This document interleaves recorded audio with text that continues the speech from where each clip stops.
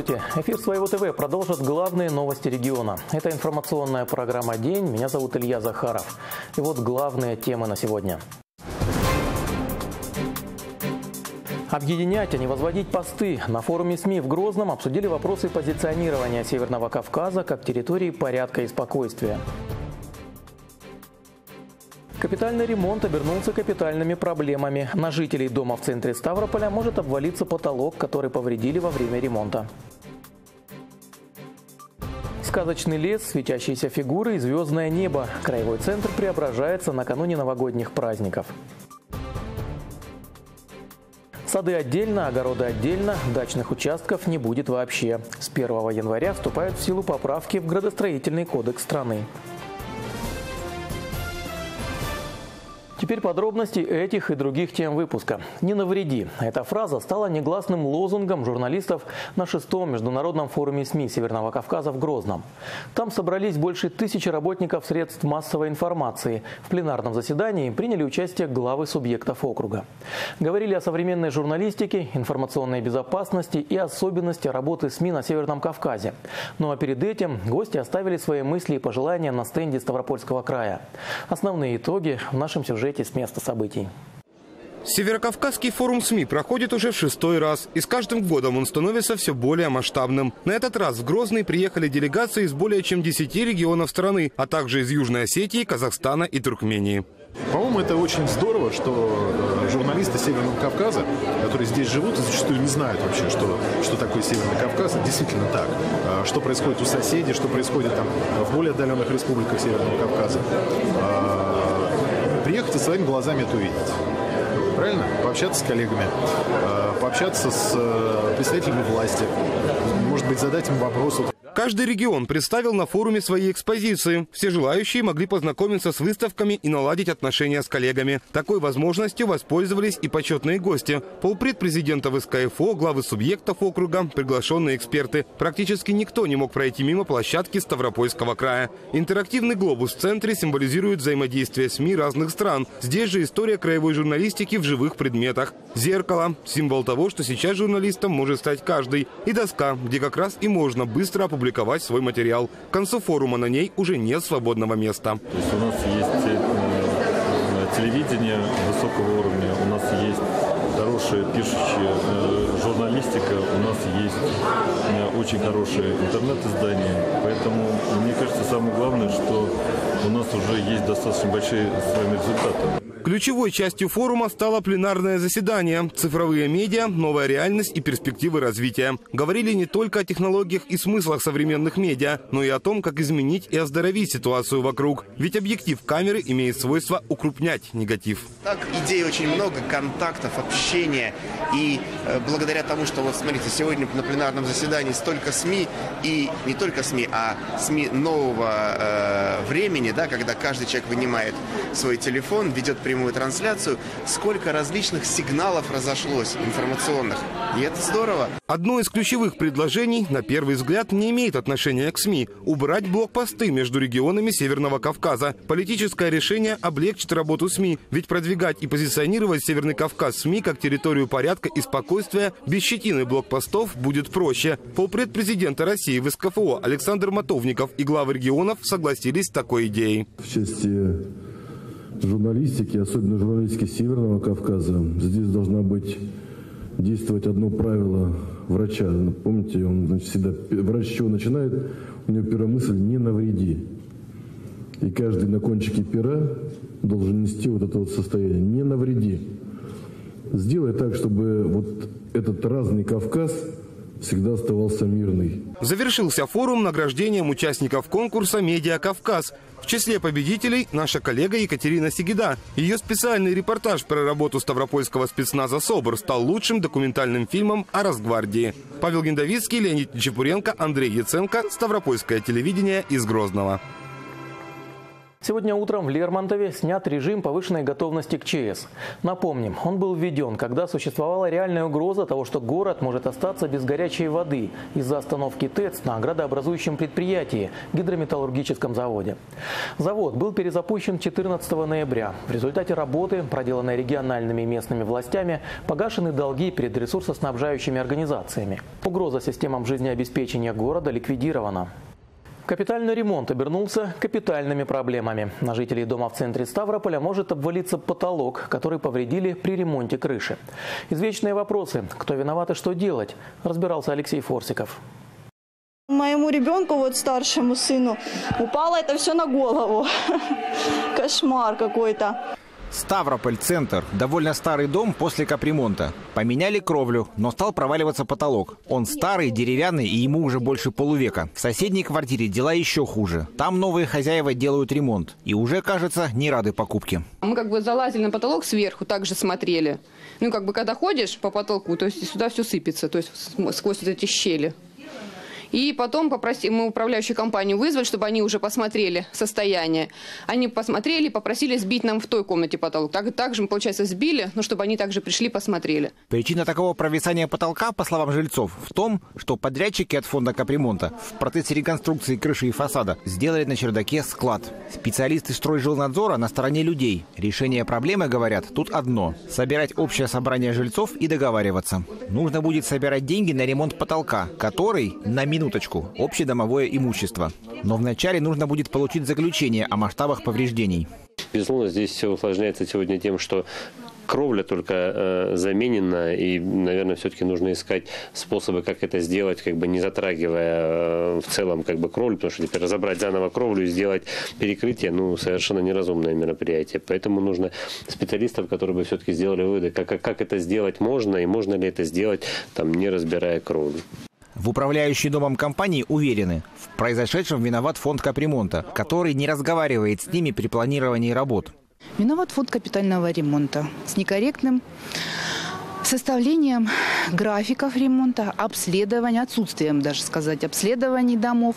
Э, элементарной информации недостаточно для того, чтобы составлять планы э, капитального ремонта и финансирования.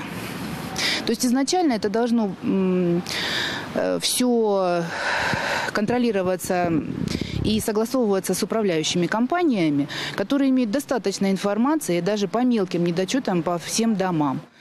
Сейчас же жителям дома нужно всем вместе предъявить претензии к тем, кто работал спустя рукава. Алексей Форсиков, Сергей Трегубов, Ставропольское телевидение. За комментарием по ситуации, сложившейся в доме после проведения там реконструкции кровли, мы обратились в фонд капитального ремонта. Вот какой ответ мы получили. На момент приемки она чистая кровля, протечек нет. Уже два года почти прошло без одного месяца, как кровлю сдали им в эксплуатацию. Жалоб, заявлений не было, претензий не было. И вдруг сейчас через два года возникает, что виноват капитальный ремонт в чем. Фотографии, подтверждающие отсутствие какого-то лишней нагрузки на кровлю после капремонта. Есть, мы не оставили там ничего. Более 72% россиян предпочитают болеть на работе. Таковы данные соцопроса, который провел один известный поисковый портал. Как выяснилось, 39% респондентов ни разу не были в поликлинике. Еще 37% обращались за врачебной помощью от двух до четырех раз в жизни. Хотя на Ставрополье эпидпорог по гриппу и ОРВИ сейчас не превышен, нам стало интересно, как же болеют земляки. Кира Рогожина отправилась в одну из поликлиник Краевого центра. Подробности в сюжете. Хотя смена Алины Кривохижины уже закончилась, девушка работает медсестрой. Покидать поликлинику она не спешит. Решила, говорит, воспользоваться моментом и проконсультироваться со специалистом. Алина тщательно следит за здоровьем, поэтому сейчас ей важнее всего не заболеть. Работаю с людьми, и как бы не хочется, чтобы они тоже болели. В этом году Алина уже прошла иммунизацию от гриппа, как, впрочем, и еще 11 тысяч человек. Это 30% населения, прикрепленного к поликлинике. По словам специалистов, такого количества достаточно, чтобы уже создать хороший барьер для распространения инфекции. Тем же, кто не привился, следует не забывать простые правила. Часто мыть руки, мазаться оксалиновой мазью, избегать мест массового скопления людей, гулять на свежем воздухе, высыпаться, заниматься спортом, следить за питанием. А еще не забывайте следить за чистотой смартфонов и компьютеров. Санитарные врачи считают, что именно на клавиатуре э, наших э, компьютеров, на телефонах, вот на этих кнопках собирается самое большое количество вирусов. То есть ежедневно, аккуратненько, влажной тряпочкой или с жидкостью для обработки клавиатура обрабатывается и телефон. А еще, как говорят врачи, не стоит увлекаться иммуномодуляторами. Это не панацея от простуды и ОРВИ. Более того, они могут навредить здоровому организму. Если же простуда атаковала, еще раз напоминают специалисты, не надо заниматься самолечением. Важно вовремя обратиться к врачу. Но не стоит злоупотреблять. Вызывать специалиста на дом следует только в случае реальной необходимости. Когда температура превышает 37,5 градусов, болит голова, ломит тело и появляются другие симптомы инфекции. Особенно обидно, когда наши доктора приезжают к пациентам, это вот как раз это время этим характеризуется, а пациент пошел в магазин. Просим, родственники говорят, подождите, пожалуйста, сейчас он придет из магазина, и вы его посмотрите. То есть вот эти вот случаи, они, на наш взгляд, просто говорят не только о неуважении к медицинским работникам, но и неуважении к самому себе. По данным одного социсследования, 72% россиян предпочитают не брать больничное, переносить простуду и ОРВИ на ногах. При этом треть респондентов никогда не обращались в поликлинике. Столько же прибегали к помощи специалистов в считанные разы. Правду говорят, что нас, корреспондентов, ноги кормят. Поэтому отлежаться дома, когда болеешь, зачастую не удается. Уж мне точно. Только температура приходит в норму, бежишь на любимую работу. Вот мы и решили узнать, как болеют жители краевого центра. Для этого вышли на городские улицы. Скажите, вы когда болеете, предпочитаете дома оставаться или работаете? Работаю. А почему? Необходимо зарабатывать на свою семью. Я не могу себе позволить э, болеть дома. Чаще все-таки на работе. Почему? Ну, потому что ну, уволят, не дай бог, работу потеряешь. Я гуляю. Мне серьезно быстрее проходит простуда такое. Что ж, болеть дома или продолжать ходить на работу, каждый, конечно, решает сам. Но не стоит забывать о том, что как относишься к своему здоровью, так и ответит организм. Между тем, на сегодняшний день на Ставрополье эпидпорог не превышен. За прошлую неделю с ОРВИ в медучреждения края обратились порядка 10 тысяч человек. Кира Рогожина, Владимир Ходорев, Ставропольское телевидение. Чудеса наяву. Преображение Ставрополя к новогодним праздникам уже началось. Километры гирлянд, сотни елок, тысячи шаров и миллионы огоньков почти готовы сиять и дарить праздничное настроение горожанам. Как украсят улицы Краевого центра, расскажет Ирина Ивановская. Еловый сказочный лес вновь вернется в центр Ставрополя к зимним праздникам. Главную зеленую красавицу уже установили. Четырехцветная иллюминация готова. Главная елка города 25-метровая. Это самая большая елка у нас на Северном Кавказе. А монтаж 33 новогодних елочек будущего сказочного леса продолжается. На каждой из них развесят от 70 до 400 игрушек. Украсят гирляндами и светящимися звездами макушками. Около 10 тысяч шаров потребуется для того, чтобы украсить сказочный лес, который вырастет на главной площади Ставрополя. Пока шары упакованы, они находятся в мешках и ждут своего часа для того, чтобы найти свое место на главной елке города.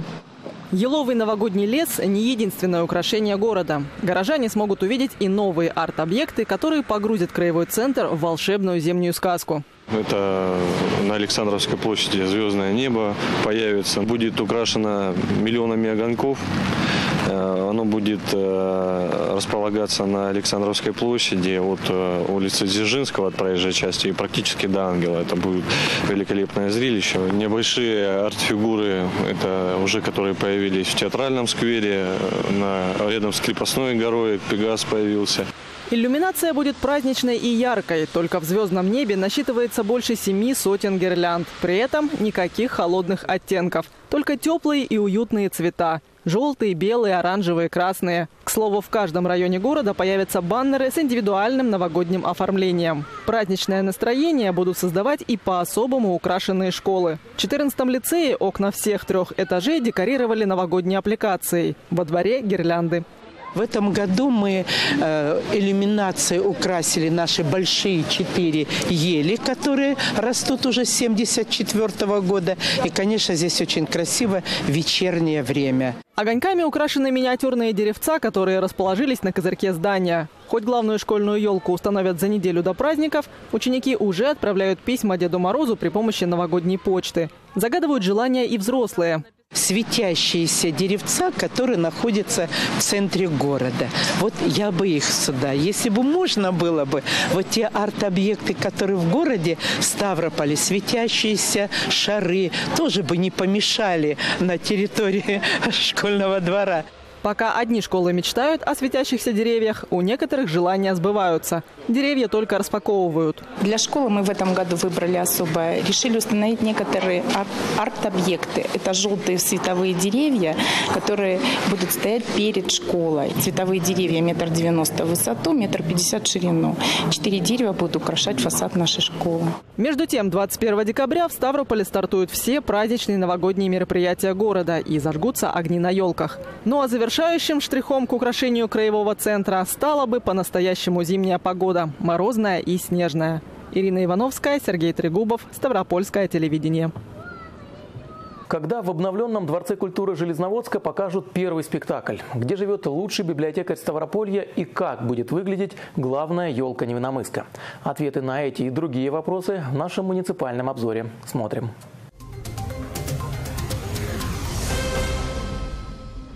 Ремонт Дворца культуры в Железноводске подходит к концу. Строители основные работы выполнили. Остались лишь небольшие штрихи. Они заменили планшет сцены и настроили на ней вращающийся механизм. На обновленной площадке можно будет показывать театральные постановки, которые требуют быстрой смены декораций. В ТК также укладывают новый паркет, уже полностью заменили систему отопления. Открыть Дворец культуры планируют 29 декабря. В этот день на обновленной сцене покажут новогоднее представление «Матушка метелица» для детей. Улицы Кисловодска станут еще чище. В городе-курорте закупили новую спецтехнику. В помощь коммунальным службам три универсальных погрузчика. Их произвели в Белоруссии. Машины оснащены специальными ковшами, поворотным отвалом для снега, щетками и другими приспособлениями. Они намного техничнее и современнее старых аналогов. На закупку новой техники потратили около 10 миллионов рублей. Совсем скоро в Невиномыске зажжется праздничными огнями главная городская елка. Специалисты приступили к ее сборке. Новогодняя красавица будет стоять на площади перед ДК «Химиков». Все нужные элементы уже привезли. Каркас елки высотой 17 метров. Украсят его красочные шары и сотни ярких лампочек. Официальное открытие 22 декабря. Лучший библиотекарь Ставрополя живет в Пятигорске. В Краевом Минобре подвели итоги конкурса «Библиотекарь года». Всего в нем приняли участие 33 человека со всего края. Они представили мультимедийные конкурсные задания и подготовили мастер-классы. Победительницей конкурса стала Людмила Волхова, педагог-библиотекарь школы номер 18 города Пятигорска. Нового года в России нужно будет согласовывать строительство на дачных участках. Более того, здания, которые не оформлены должным образом, официально станут самостроями, а это значит штраф или даже снос помещения. Такие поправки в градостроительном кодексе вступят в силу 1 января. Впрочем, у дачников есть немного времени, чтобы подать документы как раньше по упрощенной схеме. Для чего нужны перемены и готовы ли к ним жители Ставрополья, расскажет Леонид Нечпуренко. Сады отдельно, огороды отдельно, дачных участков не будет вообще. Вкратце так можно описать изменения в законе, что вступают в силу с января. На земле под огород строить будет вообще нельзя. Территории, что все привыкли называть дачами, получат статус садовых участков, а здания на них станут считаться садовыми домами. Это здание а, для временного пребывания, которое отвечает требованиям а, граждан а, в целях какого-то сезонного использования. Такие садовые дома можно будет перевести в жилые, соответственно, и жилые дома можно перевести в садовые в порядке, установленном действующим законодательством. Теперь при строительстве реконструкции дома нужно будет подавать уведомления в местные органы власти. Те, в свою очередь, проверят, нет ли в проекте нарушений, все ли в порядке с параметрами здания. Строить разрешат не больше трех этажей и не выше 20 метров. Здание нельзя делить на несколько квартир. Планируется, что такие меры помогут навести порядок и остановить бесконтрольный самострой. Дачная амнистия в свое время упростила жизнь владельцам участков, но стали возникать и злоупотребления. Под видом скромных дачных домиков могли появиться шикарные здания на много этажей. Изменения в градостроительный кодекс как раз и нужны, чтобы все было честно и по правилам. Но, кстати, коснутся они именно жилых строений. Построить у себя на даче баню или, например, беседку можно будет, как и раньше, без уведомлений. Впрочем, у дачников есть еще почти три месяца, чтобы оформить дачные строения в упрощенном порядке. В МФЦ готовы к наплыву посетителей. Юрий Владимирович один из тех, кто узнал о скорых переменах и решил поторопиться. Ведь уже 1 марта процедура станет длиннее, а папка с документами, которые нужно принести с собой, гораздо толще. Дача не оформлена, досталась от родителей. Надо документы в порядок привести, поэтому пришел. Получения данной услуги нужно предоставить следующие документы. Это технический план а, здания, здания либо сооружения, а, правоустанавливающий документ какой-либо на земельный участок, а, государственная пошлина, ну и, соответственно, паспорт самого заявителя. Госпошлина сегодня составляет 350 рублей. На прием можно записаться на сайте МФЦ по телефону горячей линии, либо прийти в офис лично и получить талон электронной очереди. Леонид Нечепуренко, Антон Красов, Ставропольское телевидение. И в продолжении дачной темы. Ожидая вступления нового закона в силу, многие дачники бросились приводить в порядок документы и делать межевание. Это нужно для того, чтобы уточнить границы своего земельного участка. Для проведения этой процедуры можно вызвать кадастрового инженера. Делать это не обязательно, но сотрудники Росреестра рекомендуют все же уточнить границы своей земли. Итоговой процедура является постановка на кадастровый учет, то есть с этого момента границы являются согласованными, и теперь какие-либо споры э, предъявляются только в судебном порядке. Мы фиксируем в последнее время очень много таких обращений. Э, э, граждане просят провести проверочные мероприятия вот в целях определения, там, не залазит ли сосед на его территорию. Угу. Вот это следствие того, что межевание не проводится. Мы настоятельно рекомендуем гражданам все-таки этот вопрос как бы себе взять на контроль. И переходим к теме ЧП. В предгорном районе водитель сбил пешехода и скрылся. У пострадавшего открытый перелом ноги. Наезд произошел около полуночи на выезде из поселка Горячеводского. В ГАИ уточняют, что пострадавший мужчина шел по проезжей части вне населенного пункта в одежде без светоотражающих элементов. Водитель не оказал помощи пешеходу, а поспешил покинуть место ДТП. Другие происшествия в крае за минувшие сутки в нашей оперативной сводке.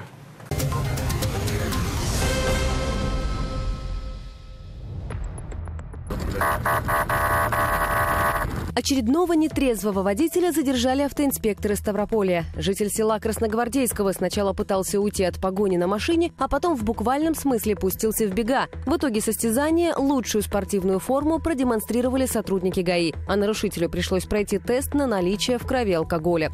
Попутно выяснилось, что в августе этого года он уже лишен прав за отказ от прохождения медицинского освидетельствования. Теперь горе-водителю грозит наказание в виде исправительных работ или лишения свободы сроком до двух лет.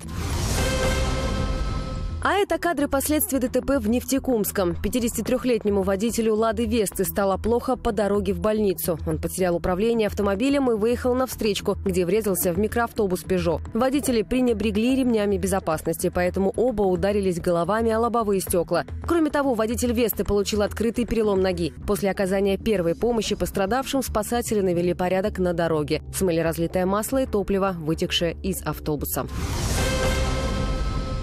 Крупную партию марихуаны изъяли полицейские Петровского городского округа. При обыске в домовладении 42-летнего жителя Светлограда стражи порядка обнаружили два полимерных пакета с растительным веществом серо-зеленого цвета, а также части растений. Установлено, что изъятая марихуана общей массой 700 граммов. Возбуждено уголовное дело. За аналогичное преступление будут судить и 52-летнего жителя краевой столицы. Это кадры оперативной съемки. Полицейские отрабатывали информацию о том, что мужчина торгует наркотиками. Под видом покупателей они пришли к нему и задержали при попытке продажи запрещенного вещества. В ходе обыска в трубе во дворе дома обвиняемого нашли свертки с веществом растительного происхождения. Экспертиза показала, что внутри марихуана общим весом около 200 граммов. Теперь оценку действиям наркоторговца вынесет суд. Ставропольцы отправили новогодние подарки детям Донецка и Луганска. Гуманитарная акция длилась в крае два дня. Люди несли в пункт приема конфеты, фрукты, напитки. Все то, что так нужно детям пострадавших республик. Помогали собирать гуманитарную помощь школы, детские сады, больницы и представители бизнеса. К подаркам приложены письма с теплыми пожеланиями. В Донецк и Луганск уже выехали две фуры, до отказа наполненные коробками со сладостями. Гуманитарный груз в республике доставят ставропольские спасатели. Пилочки, ножницы и лак для волос. В Ставрополе профессионалы индустрии красоты сразились за звание лучших. Чемпионат собрал участников со всей страны и ближнего зарубежья. За работой мастеров наблюдала Яна Лукошкина. Краевой центр на пару дней перевоплотился в столицу индустрии красоты. Весь день в специально оборудованных залах кипит работа. Здесь, например, свои навыки проявляют специалисты ногтевого сервиса, а ближе к сцене расположились мастера, оформляющие брови. Марина этому делу посвятила 4 года. Набралась опыта и теперь пробует силы на конкурсах. Я работаю с красителями хной, сейчас очень популярно. Многие молодые девушки пользуются. Работа чистая обычно. Многим нравится. Да, кстати, и форма. Не знаю, тут уже я смотрю на каждого клиента и подбираю сама, что ему подходит. Чемпионат проводится на Ставрополье ежегодно. Мастера из разных регионов страны могут учиться друг у друга, общаться и, конечно, выставлять на суд компетентного жюри свои работы. Прически, к примеру, оценивают по многим критериям.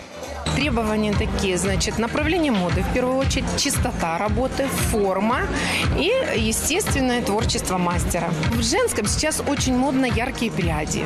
Ну, э, классика никогда она не уходила из моды, поэтому классические варианты всегда в моде. Амбре, аэртач. На Ставрополье индустрия красоты идет вперед крупными шагами. Немалую роль в этом сыграли именно такие чемпионаты. Наш край не только является житницей России, но и э, туристическим кластером.